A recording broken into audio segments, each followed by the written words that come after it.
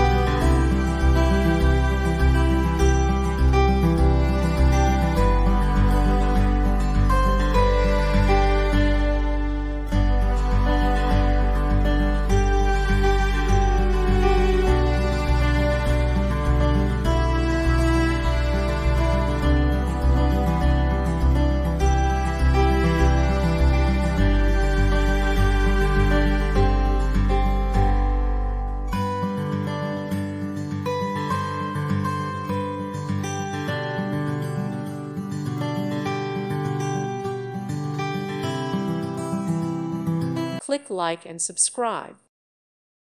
Thank you for watching and may God bless you always.